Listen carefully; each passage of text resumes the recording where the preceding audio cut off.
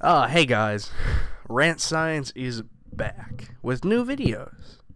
So be sure to like, comment, and subscribe. If I don't get very many views on some of these newer videos, I'm probably not going to continue this.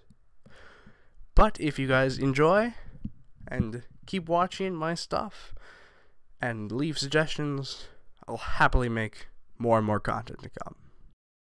This is the modern day city, streaming full of people, cars, and technology. This is nothing short of a miracle that we've progressed as far as we have in such a short amount of time. All of this is the results of multiple technological innovations. But the thing about most technological innovations is that many of them come from the ashes of war and are produced in an effort to kill other human beings. This is Rance Science. Today, we're going to look at nuclear weapons. But in August 1945, something remarkable would happen that would change the way people live their lives, how politics work, and how nations would wage war. The invention of the nuclear bomb. This would be called the Manhattan Project. The Manhattan Project was used in an effort to create the nuclear bomb by the US, the British, and the Canadians, several other countries, all together in a joint effort to create the nuclear bomb to end World War II.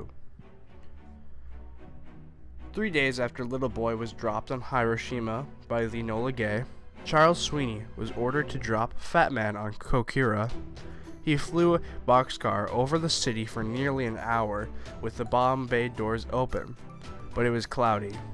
Sweeney couldn't get visual confirmation of the target and was forced to go to the secondary target, Nagasaki, where 75,000 people were killed instantly instead.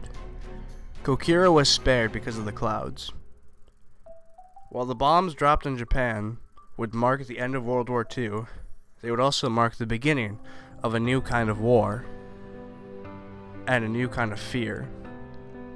The fear of worldwide annihilation. For the first time in world history, people had the power to annihilate the entire world several times over. On January 1961, a U.S. B 52 bomber carrying two megaton thermonuclear bombs over North Carolina tumbled from the sky, and a loose lanyard in the cockpit snagged the bomb release switch. Each bomb contained a greater explosive yield than all munitions ever detonated by mankind combined. Only one single low voltage arming switch remained untouched during the crash. Had this 3.8 megaton bomb detonated and the wind conditions had been just right, the radioactive fallout would have reached Washington, D.C., Philadelphia, and even New York. And a bay would have been left where North Carolina once was. There is a bright flash, brighter than the sun, brighter than anything you've ever seen.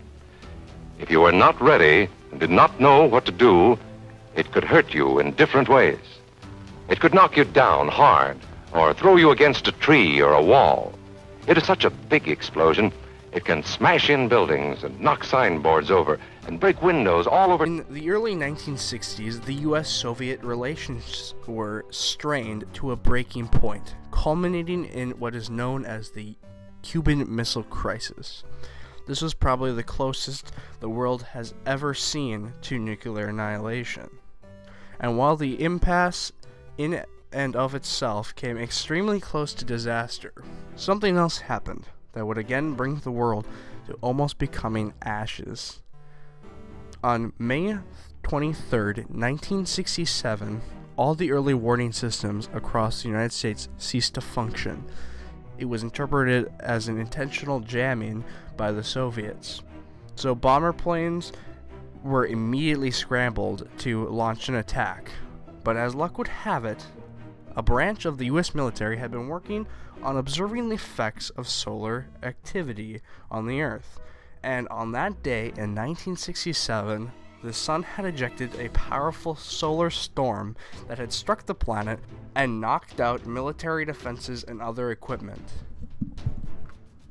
We think that most of the time we will be warned before the bomb explodes. So there will be time for us to get into our homes, schools, or some other safe place. We can build a weapon that mimics the furnace of our sun and the winds of Neptune, but yet we can't predict the weather more than a few minutes ahead of time. And with declassified documents, we know now that the US military has had over a thousand close calls with nuclear weapons since the 1950s. Over a thousand times when cataclysmic devastation was narrowly avoided. When will the time come when one of these close calls triggers nuclear war? Only time can tell. And as always, thanks for watching. If you like this video, leave a like, share, comment, subscribe. And if you want to be notified on when my next videos come out, please click that little bell button down there.